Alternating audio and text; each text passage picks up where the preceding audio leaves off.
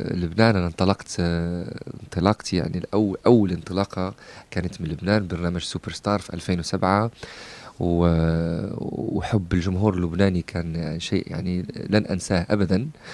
وأنا يعني بدي أعبر back again للجمهور اللبناني على حبه آه لي ب real concert في وسط بيروت on plan إن شاء الله بإذن الله.